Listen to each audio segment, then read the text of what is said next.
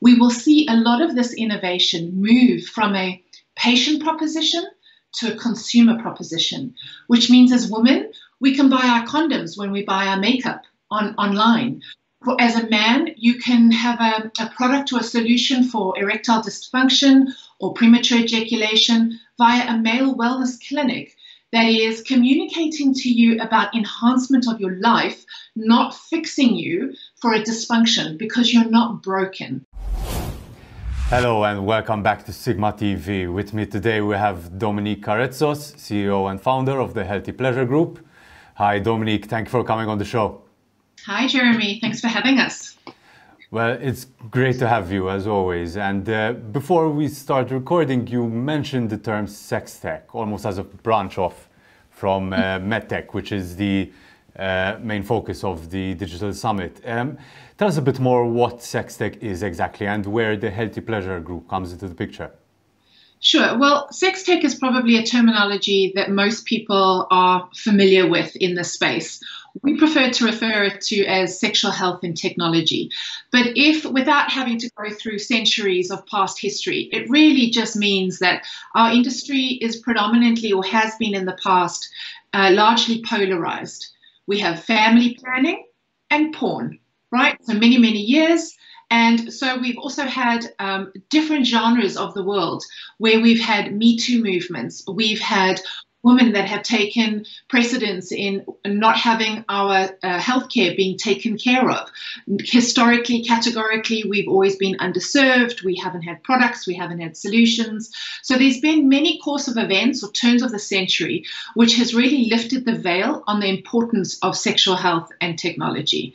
So today, we then, if we just go back maybe 10 years ago, we saw, for example, something like a, a, massager or a vibrator that you used to buy in a brown paper bag down a dark alley be moved into commercial spaces like uh, Selfridges or Lafayette um, you saw the medical industry looking at pelvic therapy and menstrual health as more commercial options for women, just within sexual health.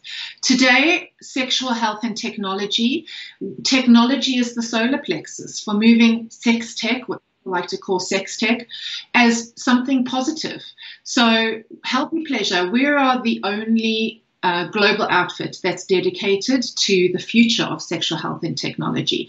Our mission is to make sure that pleasure and healthy pleasure is something to be endorsed, something to be considered and explored and not hidden away. It is the most innate human experience and it is healthy for us. So, whether that is you know, not having to suffer through pain like endometriosis. Uh, just that alone, we have 1.5 million women in the UK that suffer with it. We do even less about it. However, if I said to you erectile dysfunction, everybody understands that terminology, everyone is familiar with it. So, our really stripped back, our core purpose for existing is to empower these brands and products coming to humanity through innovation, through education, and the most important, investment. Mm-hmm. Now, obviously, when we talk about uh, the medical sector, you can't really look beyond what's happening right now with the COVID 19 pandemic. And it's obviously brought a lot of issues and some issues which we didn't even think would we would have to worry about. Um, but are there areas that you think that are being overlooked? Absolutely. I mean, COVID, you know, without dismissing uh, the loss and the pain that everyone, I'm sure, has has has gone through at some point, what COVID did do for the sexual health industry is it lifted a veil on looking at how do we test, how do we track, but also how do we share our health status. So in the case of, for example, an STI test, which is a sexually transmitted infection test, previously, if I said sex and safe, I could probably empty a room in 30 seconds. Today, that COVID test needs to be included in your STI test, mm-hmm. not just to mobilize yourself across economies, but to decide if you're going to give someone a kiss, if you're going to hug, if you're going to connect with somebody. So we've gone through a process of understanding that we need to identify, but we what we are not doing, and and and I, I truly believe we're not doing correctly yet is considering how this sharing revolution is going to come into play and how do does how do we feel about a preventable health care and b how do i share and verify my health status so um, you know, in a positive spin, COVID has done incredible things for the sexual health industry in putting that preventable health care in the front of most of our minds. Not to mention that for the first time we have permission to you know, have self-care include sex care at the same time. Okay, and you mentioned a lot of things there uh, which you would consider to be important. Uh, are these also things you would consider to be standard for this area, this area of medicine? Jeremy, I think that's a great question. I, I think we're going to have to start to really think about what these standard measures are going to look like. In the case of the sharing revolution, or even in the case of building a medical app, first we have to ask the question what is the intent of asking for our data? How do we want to um, extrapolate that data? And then, if we are enabling and empowering people to share it, what does that look like? To be, to be on a personal level, I have had to travel through the pandemic, and, and I, you know, we're still in the pandemic the process of a QR code or a piece of paper, and in some countries, even just a wristband, it just, the absence of technology really baffles me. How is it that we are able to, um, to test, to track, but then not empower and enable us to make sound decisions so that we can look at preventable health care, so that we can be able to share it. The sharing revolution is here. It's not going away.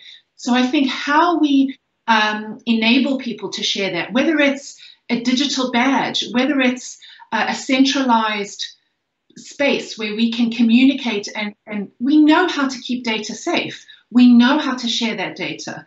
Um, it just doesn't seem like we're we're doing a full 360. It's almost like we've let go of the human's hand and we can't do that. So I, I do believe on how we verify and how we share that is going to have to be part of what does this look like for us in the future?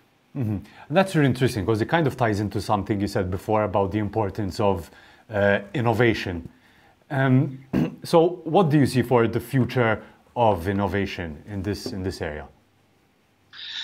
You know, our space is moving so fast all the time because scope for innovation is there. We've, as humans, male, female, uh, whichever gender or sexuality you, you associate with, we haven't been served with products. So the scope of what the future is can be anything from, um, you know, VR through sexual trauma. It can be sex robots. I'm going to say it out there because people always ask me that question. Be uh, non-pharma products for, for like premature ejaculation because they exist already.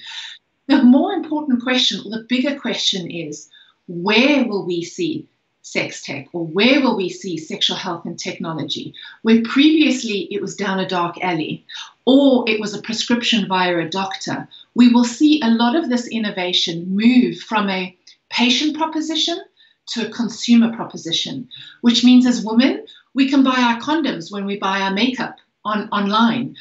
As a man, you can have a, a product or a solution for erectile dysfunction or premature ejaculation via a male wellness clinic that is communicating to you about enhancement of your life, not fixing you for a dysfunction because you're not broken.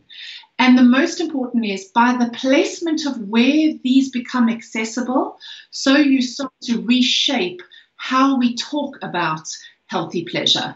And that is as big a question. Today, sexual health or sex tech will be available in all touch points of our lives. And you will see this move even faster as, as innovation and investment progresses. Mm-hmm. Well, I'm sure we'll hear more about that at your uh, keynote with MedTech in October. Thank you so much for your time and your insight, Dominique.